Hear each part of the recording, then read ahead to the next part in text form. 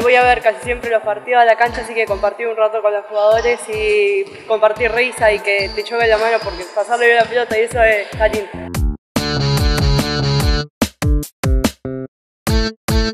Nada, re lindo, porque vos lo ves adentro de, de la cancha jugando y compartir un momento con ellos es re lindo.